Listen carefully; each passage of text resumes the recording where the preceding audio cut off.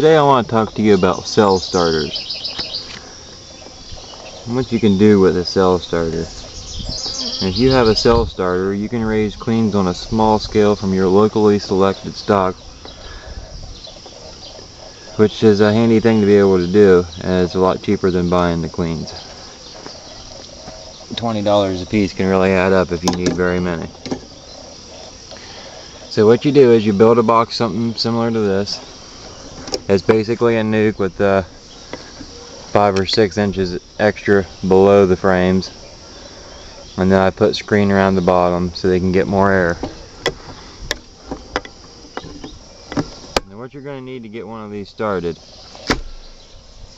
is you're going to want to put a frame of honey, a frame of pollen, which they will need to raise the queen. You're going to stick uh, two frames, empty frames in there. Well, they need to have comb in here for the bees to cling on. And then leave one room for your grafting frame.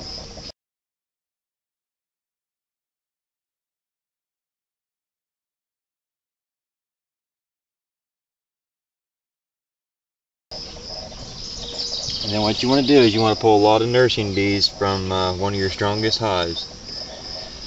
And uh, shake as many in this box as you can.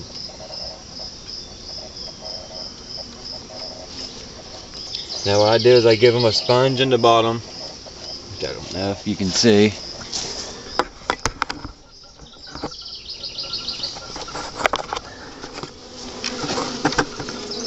Right there in that sour cream cup, I put a sponge with water so they had a place to drink.